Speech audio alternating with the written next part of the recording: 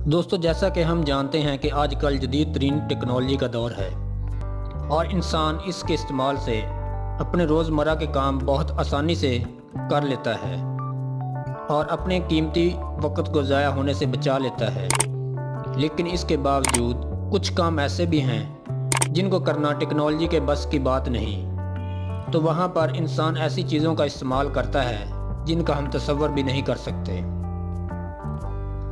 तो आज की वीडियो में हम आपको दिखाएँगे कि इंसान कैसे जानवरों को ट्रेन करता है और इनसे मुश्किल से मुश्किल काम भी आसानी से लेता है।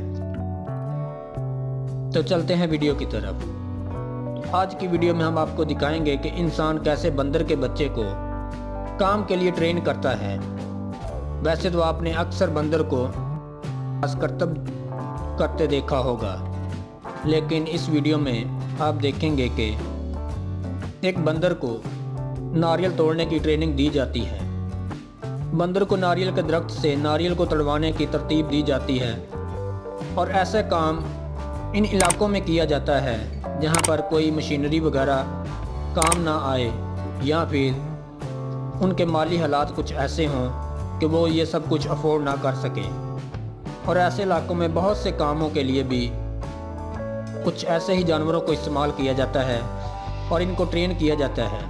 जैसा कि आप इस वीडियो में बाखूबी देख सकते हैं कि पहले एक नारियल को एक रस्सी से बांधकर इसको तकरीबन पाँच दिन तक गोल गोल घुमाया जाता है। जब ये अमल मुकम्मल हो जाता है तो फिर कुछ नारियल को एक रस्सी से बांधकर इससे तड़वाए जाते हैं।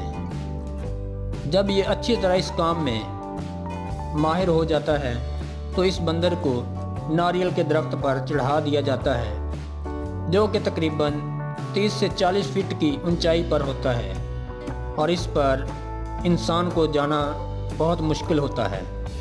लिहाजा इस काम के लिए इस बंदर को ट्रेन किया जाता है, और इस पर लगे नारियल को तड़वा कर नीचे ज़मीन पर फेंका जाता है। जैसा कि इसको शुरू में ट्रेनिंग दी जाती है, और वैसे ही ये बंदर इस नारियल के दरख्त पर चढ़कर नारियल को तोड़ता है। क्योंकि ये काम अगर इंसान हाथ से करे तो इस पर काफ़ी मेहनत करना पड़ती, लेकिन ये काम एक बंदर बसानी और बहुत ही अच्छे तरीके से करता है।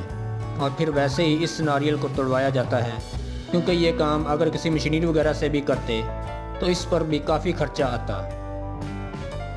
लेकिन इस काम के साथ साथ इन जानवरों की खुराक का भी बहुत अच्छे तरीके से ख्याल किया जाता है, ताकि इनसे बेहतर से बेहतर काम लिया जा सके। और फिर इन नारियल को तोड़कर किसी मार्केट में बेचा जाता है और इनसे काफ़ी नफ़ा हासिल किया जाता है।